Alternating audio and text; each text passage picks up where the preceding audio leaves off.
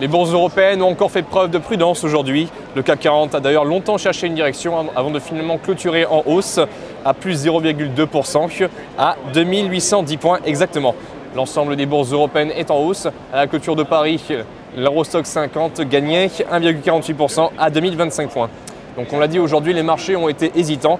Le CAC 40 a d'ailleurs ouvert en hausse avant de dégringoler, puis de se ressaisir grâce au rebond des banques et dans une moindre mesure à l'ouverture positive de Wall Street. Les craintes des investisseurs sur les perspectives de l'économie restent très vives. On l'a vu hier, c'est le commentaire pessimiste de la Fed sur l'économie américaine qui a fait décrocher toutes les bourses sans exception. Et aujourd'hui, les investisseurs n'ont pas vraiment été rassurés suite à la réunion du G20 dont ils attendaient beaucoup. En réalité, le G20 n'a fait aucune annonce concrète.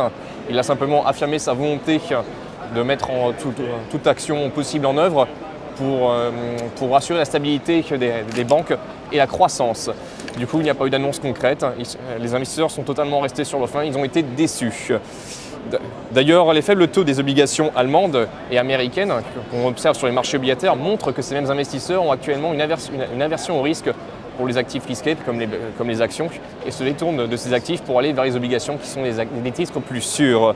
Mais on l'a dit, malgré tout cela, le CAC 40 euh, a, pu rebondir, ce grâce au même rebond des banques. En fait, les cours des banques se sont envolés après que des hum, rumeurs dans la presse aient fait part euh, d'actions de la Banque Centrale Européenne euh, pour stabiliser les, les établissements financiers.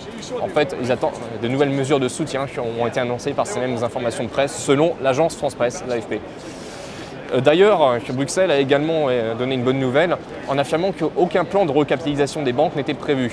Donc l'Europe, en tout cas pour le moment, n'accélérera pas la recapitalisation des banques.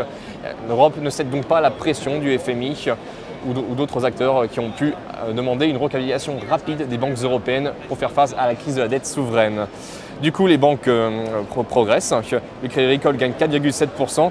Les Paribas gagne plus de 9,78%. C'est la plus forte hausse du CAC 40. Et la Société Générale gagne 8,7%. Autrement, les valeurs ont plutôt évolué en ordre dispersé. Certaines cycliques ont pu rebondir, comme ça a été le cas d'ArcelorMittal, qui, est passé dans le vert grâce à une bonne annonce, euh, une bonne conférence euh, faite auprès des investisseurs. C'est toutefois une cyclique qui est quand même la plus forte chute du CAC 40. Il s'agit de Technip, qui chute de presque 4%.